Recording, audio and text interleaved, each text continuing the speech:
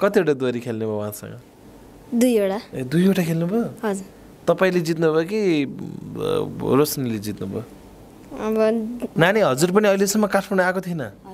हो? थिएन? अनि केमा आउनुभयो काठमाडौँ? जहाजमा। ए जहाजमा आउनुभयो? अनि बसमा। ए बसमा चाहिँ काठमाडौँबाट बसमा आउनुभयो होला। हे सुप्रिम मलाई ठाकुरी भेटियो यो मनको तिर्सना मेटियो चौतारिक बाह्र। हे काठमाडौँमा रोशनीलाई देखेर म पनि त खुसी छु भेटेर चौतारीको बार ए आउन सुप्रिम। तिमी त मेरो बुई घुमी घुमी नाचौला। हामी दुई चौतारीको बर।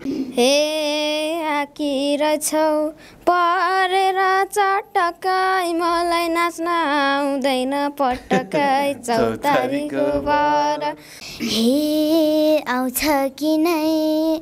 कम्मर भाँच्नलाई मै सिकाउँछु घुमेर नाच्नलाई। चौतारीको बर हे गर्यौ तिमीले कुरा त मनको घुम्या छैन अहिले सहेक फनको। चौतारीको बर हे एउटा कम्मर तिन लौ चौतारीको बर। नानीले चाहिँ आफै शब्द भनेको अनि फेरि एकदम प्रत्युत्तर के? एकदम मजा लाग्दो प्रत्युत्तर सुनेँ मैले। त्यसपछि राजालाई सोधेँ मैले को हुन् के हुन् नानी? के छ? काठमाडौँतिर जान चाहन्छन् कि नै? त्यो सम्भावना देखाएको थिएँ मैले। त्यो भनेपछि जान त खोजिरह राजा त्यस्तो खालको अपर्च्युनिटी नभएर भन्छ त्यसपछि त्यहाँ के के गर्नुपर्छ? म गर्छु नि त के अरे लानको लागि हेल्प र अरू बाँकी त्यहाँ बस्ने के के हो त्यो वातावरण हजुरले मिलाउनु पऱ्यो लानका लागि म लग्छु र त्यहाँ अवसरका लागि पनि म सबैसँग भन्छु मैले चिने जानेका सबैसँग भनेर राजासँग कुरा गरेपछि त्यही स्टेजबाट नै उद्घोष गर्न लगाएको कि। लाने भनेर। अनि पछि अरू अरू कार्यक्रमहरूले गर्दा त्यति छिटो चाहिँ ल्याउन सकिएन। आई थिङ्क एक महिना भयो के अरे म त यहाँ आउने बित्तिकै ल्याउँछु भन्ने सोचेको थिएँ। फेरि बाबुको बाहिर बाहिर प्रोग्राम भयो अनि हाम्रो पनि यतातिर सुटिङ नभएको हुनाले ल्याउन सकिएको थिएन। अनि यसपालि चाहिँ ल्याउनै पर्ने भएर हिजो टिकट बनाइदिएर अनि नानी र नानीको मम्मी आउनुभयो क्लासमा पनि नाचिदिनु भयो त ए, किन क्लासमा नाच्दैन? डान्स क्लासमा पनि जाँदिनँ म त। ए ए लाज हुन्छ? हो? तर छोरा मान्छे नाच्यो भने त राम्रो देखिन्छ अरे नि। ह्यान्डसम छ सुप्रिम मान्छेले नाचेको हुन् नाचेको भए राम्रो हुन्थ्यो भन्छ नि।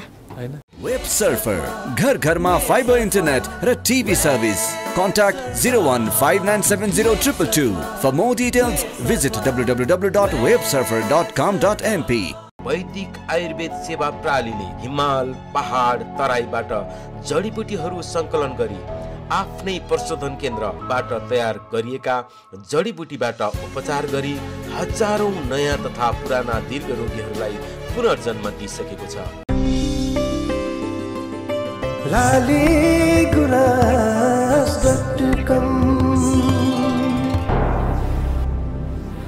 सबै खबर सबैका लागि। लालीगुराज डट कम हेरेर बस्नुहुने सम्पूर्ण दर्शकलाई हार्दिक स्वागत छ। म कमल सरगम तपाईँको बिचमा छु।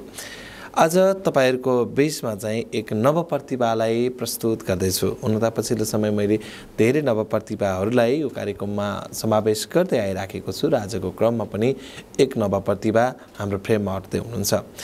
जसको आवाज भन्दा पनि टुक्का यति धेरै दरिलो छ जो दोहोरी खेल्नमा माहिर छिन् भन्ने उदाहरण यो अन्तर्वार्ताको क्रममा रहनेछ।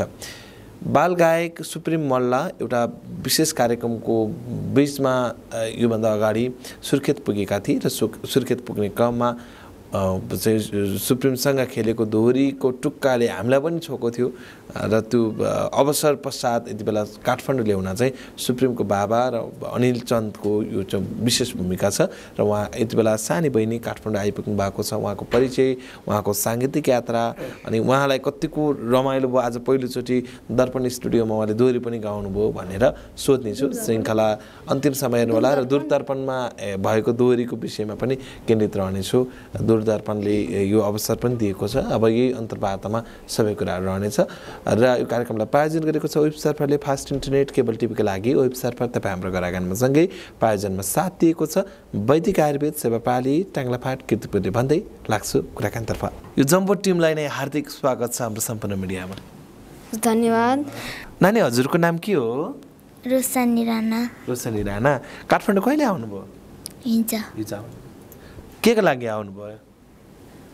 गाउन। दोहोरी गाउन। कोसँग गाउनु भयो आज दोहोरी सुप्रिम मल्लसाथ अस्ति नै पनि सुप्रिम मिल- मल्लसितै दोहोरी गाउनु भएको थियो त स्टेजमा होइन? हजुर।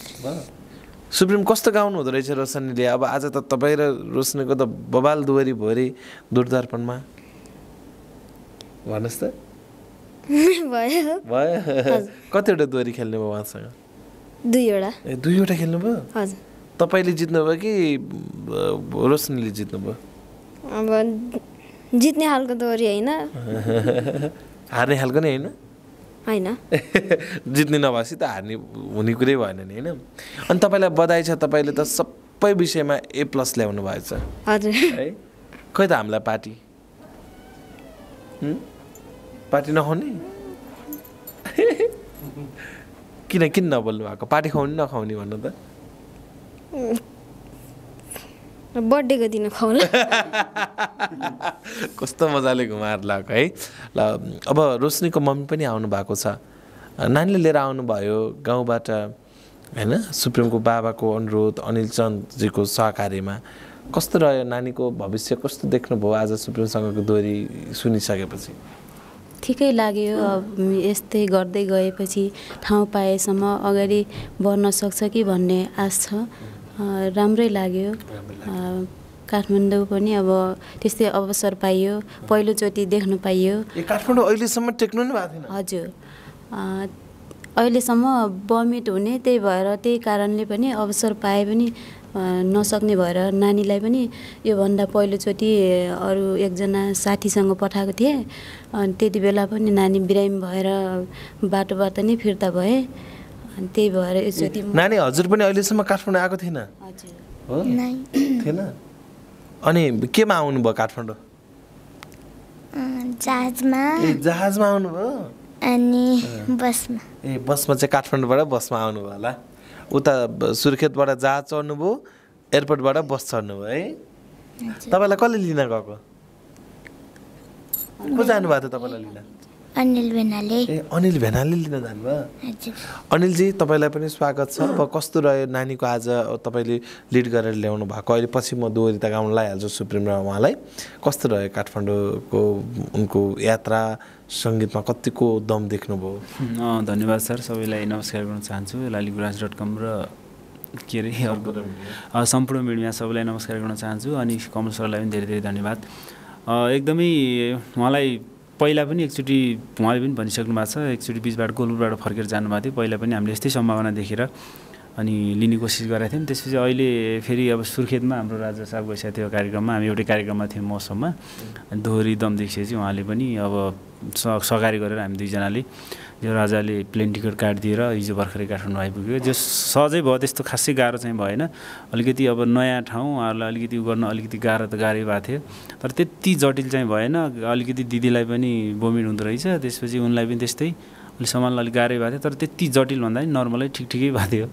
खासै अब अब म तपाईँलाई सोध्छु दाइ अब तपाईँले जिम्मेवारी लिनुभएको नानीको केही हदसम्म भविष्य सुदृढ हुने सम्भावना पनि देखियो। दूरदर्पणले एउटा भूमिका पनि खेल्नुभयो टिकट काटेर काठमाडौँ ल्याउनु भएको छ। कस्तो भयो आजको दोहोरी र समग्रमा तपाईँले सोचे भन्दा आ, चाहिँ राम्रो प्रतिभा हो कि होइन रोशनी? नमस्ते सम्पूर्ण मिडियामा। अ, खासमा मान्छेको सम्भावना हेरेर नै मान्छेहरूले माया गर्छ होइन? नानीमा मैले सुर्खेतमा सुर्खेतको गुमीमा बाबुको प्रोग्राम भयो हुँदा मैले लिएर जाँदै गर्दा त्यहाँ लाइभ दोहोरी गाउने कुरा थियो। त्यो बाबुले त पशुपति दाईले यसो लिरिक्स गाइड गर्नुभएको थियो स्टेजमा। नानीले चाहिँ आफै शब्द भनेको अनि फेरि एकदम प्रत्युत्तर के? एकदम मजा लाग्दो प्रत्युत्तर सुनेँ मैले। त्यसपछि राजालाई सोधेँ मैले को हुन् के हुन् नानी? के छ? काठमाडौँतिर जान चाहन्छन् कि नै? त्यो सम्भावना देखाएको थिएँ मैले। त्यो भनेपछि जान त खोजिरहेको रहेछ त्यस्तो खालको अपर्च्युनिटी नभएर भन्छ त्यसपछि त्यहाँ के के गर्नुपर्छ? म गर्छु नि त के अरे लानको लागि हेल्प ल अरू बाँकी त्यहाँ बस्ने के के हो त्यो वातावरण हजुरले मिलाउनु पऱ्यो लानका लागि म लग्छु र त्यहाँ अवसरका लागि पनि म सबैसँग भन्छु मैले चिने जानेका सबैसँग भनेर राजासँग कुरा गरेपछि त्यही स्टेजबाट नै उद्घोष गर्न लगाएको कि लाने भनेर। अनि पछि अरू अरू कार्यक्रमहरूले गर्दा त्यति छिटो चाहिँ ल्याउन सकिएन। आई थिङ्क एक महिना भयो के अरे म त यहाँ आउने बित्तिकै ल्याउँछु भन्ने सोचेको थिएँ। फेरि बाबुको बाहिर बाहिर प्रोग्राम भयो अनि हाम्रो पनि यतातिर सुटिङ नभएको हुनाले ल्याउन सकिएको थिएन। अनि यसपालि चाहिँ ल्याउनै पर्ने भएर हिजो टिकट बनाइदिएर अनि नानी र नानीको मम्मी आउनुभयो। अब म दोहोरीतर्फ लाग्छु। सुप्रिमले नै गाउनुहुन्छ। नानीले पनि सँगै बसेर गाउनुहुन्छ। कस्तो गाउनु हुँदो रहेछ भन्ने कुरा पनि रहन्छ। अब भाका त चौतारीको बरै सजिलो हुँदो रहेछ नानीलाई होइन? गाउन सजिलो चौतारीको बर हो। हजुर। हे सुप्रिम मलाई थाकुरी भेटियो यो मनको तिर्सना मेटियो चौतारीको बार चौतारीको बार पिपलुलाई भर माया पर पर के रमाइलो छ र ठाकुरी भेटियो मनको तिर्सन मेटियो चौतारीको बार चौतारीको बार पिपलुलाई भर माया पर पर के रमाइलो छ र हे काठमाडौँमा रोशनीलाई देखेर म पनि त खुसी छु भेटेर। चौतारीको बार चौतारीको बार पिपलुलाई बार माया पर पर रमाइलो छ र रोशनीलाई देखेर म पनि त खुसी छु भेटेर। चौतारीको बार चौतारीको बर पिपलुलाई बर माया पर पर के रमाइलो छ र माया पर पर के रमाइलो छ र हे राम्रो लाग्छ मेरै गाउँ पाखालाई आनन्द भो देखेर आँखालाई चौतारीको बर चौतारीको बर पिपलुलाई भर माया पर पर के रमाइलो छ र मेरै गाउँ पाखालाई आनन्द भो देखेर आँखालाई चौतारीको बर चौतारीको बर पिपलुलाई भर। माया पर पर के रमाइलो छ र हे म पनि त भएको छु खुसी। यही खुसीमा मारौँ कि भुरखुसी? चौतारीको बर चौतारीको बर पिपलुलाई बर माया पर पर के रमाइलो छ र भएको छु खुसी। यही खुसीमा मारौँ कि भुरखुसी? चौतारीको बर चौतारीको बर पिपलुलाई भर माया पर पर के रमाइलो छ र। ए आउन सुप्रिम। तिमी त मेरो बुई घुमी घुमी नाचौला। हामी दुई चौतारीको बर। चौतारीको बर पिपलुलाई भर। माया पर पर के रमाइलो छ र आउन त मेरो बुई घु घुमी घुमी नाचौला। हामी दुई चौतारीको बर। चौतारीको बर पिपलुलाई भर माया पर पर के मैलो छ र हे आकी रहेछौ परेर चटकाइ मलाई नाच्न आउँदैन पटकाइ। चौतारीको बर चौतारीको बर पिपलुलाई भर माया पर पर के रमाइलो छ र हे आउँछ कि नै? कम्मर भाँच्नलाई मै सिकाउँछु घुमेर नाच्नलाई। चौतारीको बर चौतारीको बर पिपलुलाई भर माया पर पर के रमाइलो छ र कम्मर भाँच्नलाई मै सिकाउँछु घुमेर नाच्नलाई चौतारीको बर चौतारीको बर पिपलुलाई भर। माया पर पर के रमाइलो छ र हे गर्यौ तिमीले कुरा त मनको घुम्या छैन अहिले सहेक फन्को। चौतारीको बर चौतारीको बर पिपलुलाई भर माया पर पर के रमाइलो छ र हे एउटा कम्मर तिन ठाउँमा भाछु तिमी गाइदेऊ लौ सुप्रिममा नाच्छु चौतारीको बर चौतारीको बर पिपलुलाई भर माया पर पर के रमाइलो छ र कम्मर भाछु तिमीले गाइदेऊ सु- सुप्रिममा नाच्छु चौतारीको बर चौतारीको बर पिपलुलाई भर माया पर पर के रमाइलो छ र। ल ओके अब चौतारीको बरमा अब पिपलुसँग रमाइलो हुने कुरा पनि भयो। सुप्रिम साँच्चीकै नाच्न नजान्ने हो? हो। गाउन मात्र जान्ने। तर आज त सुप्रिमलाई त्यति पहिला पहिला बरु अलिअलि लिड गर्नु पर्थ्यो सिकाउन पनि खासै परेन। ट्याकट्याक टिप्ने भएछन् सुप्रिम पनि दोहोरी त होइन? बानी बानी बस्यो। होइन? कतिको गाह्रो हुन्छ सुप्रिमसँग दोहोरी गाउन नानी? ठिक ठिकै। ठिक ठिकै। अब सुप्रिम गाएको राम्रो कि नाचेको राम्रो त? गएको। गएको। नाच्न जान्ने रहेछन् कि रहन्छन्? आज नाच्नुभयो कि भएन सँगै सुप्रिमसँग? यो कसले दिनुभएको? सुनै सुन लाउनु भएको छ त्यो सबै सुन्छ र। म त क्लासमा पनि नाच्दिनँ म त के ए, अरे क्लासमा नाच्दैन? डान्स क्लासमा पनि जाँदिनँ म त। ए ए लाज हुन्छ? हो? तर छोरा मान्छे नाच्यो भने त राम्रो देखिन्छ अरे नि। ह्यान्डसम छ सुप्रिम मान्छेले नाचेको हुन् नाचेको भए राम्रो हुन्थ्यो भन्छ नि। होइन? हेर्नु न त्यो सुनै सुन रहेछ नानीको। कसले दिएको? तपाईँले त्यहाँ होइन। कसले दिएको भन्नु त? किनेको। किनेको? कति रुपियाँमा किन्नुभयो खै त मम्मीले किनिदिएको। अब यो सुन सुने हो। बाबा कहाँ हुनुहुन्छ?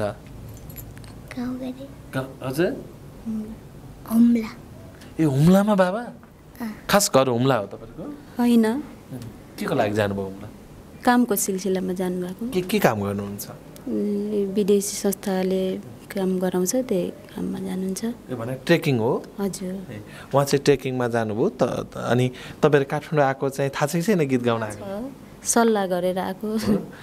जस छोरीलाई अगाडि बढाउनुपर्छ भनेर घर परिवारमा सल्लाह भयो। हजुर। कतिको सम्भावना को बाटोहरू खुलियो जस्तो लाग्छ? यहाँ आइसक यहाँ काठमाडौँ आइसकेपछि। अब गाउँघरमा उम्, नाचगान गरेर हिँडेको र अब गाउँ छोडेर यहाँ काठमाडौँसम्म आइपुगेपछि अब सम्भावना त छ नै। अब त्यसमा पनि अब सम्भावनाले मात्रै पुग्दैन। अनि त्यो साथ सपोर्ट चाहिन्छ अब सबैको सहयोग चाहिन्छ। अनि अब आफू नानी मात्रै म अगाडि बढ्छु भनेर पनि हुँदैन। अनि घर परिवारबाट पनि सपोर्ट हुनु पर्यो।